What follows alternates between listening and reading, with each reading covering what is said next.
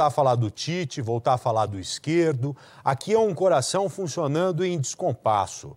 Agora, o que, que significa isso? Funcionando em arritmia. Provavelmente o Tite e o esquerdo enfrentaram um problema em que os dois corações ficaram desse jeito. Em alguns momentos ali, talvez até mesmo parados. Não do Tite, mas do esquerdo.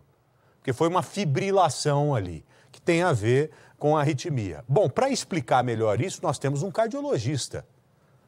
Nós acionamos um cardiologista para não ficar discutindo aqui de forma empírica, de forma vazia. Cardiologista de referência, o Dr. Hélio Castelo, cardiologista do Hospital Alemão Oswaldo Cruz.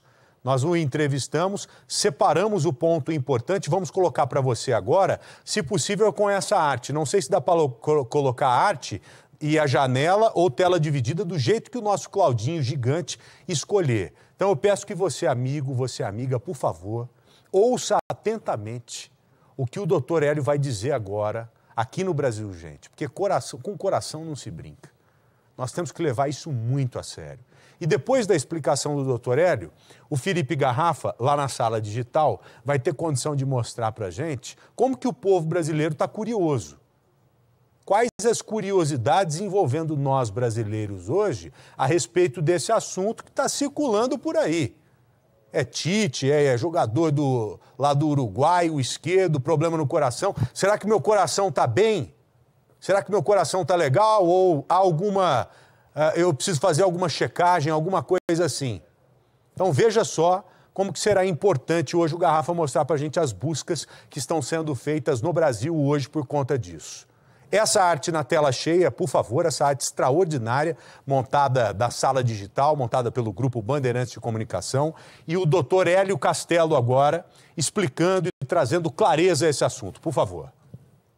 A arritmia cardíaca mais comum é a fibrilação atrial, que é quando o coração bate fora do compasso e numa frequência muito mais alta.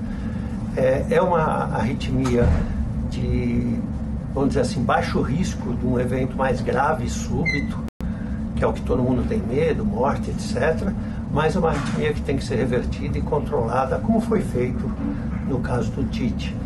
Essa arritmia pode acontecer quando existe algum tipo de desequilíbrio é, na parte elétrica do coração. O coração é um saco de músculo que funciona de forma autônoma por estímulo elétrico e várias coisas podem alterar isso. Quer dizer, o estresse é uma, o excesso de exercício físico, como pode ter acontecido com o jogador de futebol, a exaustão, é, altitude, por quê? Porque a altitude ela oferece é, uma menor quantidade de oxigênio para um corpo que não está habituado a isso e eventualmente essa, é, esse desequilíbrio da oferta e da demanda de oxigênio pode fazer com que mude a, a parte elétrica do coração e causa essa arritmia.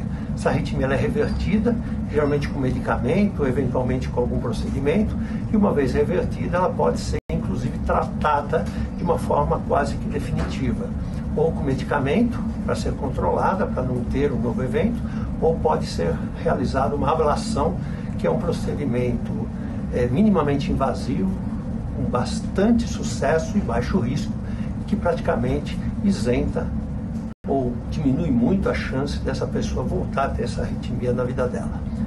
Explicação importante que fica aqui o recado é a necessidade de você fazer check-ups, fazer exames. O Tite e o jogador do Uruguai permanecem internados. O Felipe Garrafa permanece lá na sala digital. Já subindo a trilha, por favor, tela cheia para o Felipe Garrafa. Daqui a pouquinho, depois do intervalo, o Garrafa vai mostrar para a gente quais são as buscas que estão sendo feitas no Brasil nesse momento por conta do coração de coração, qual a sua curiosidade? Em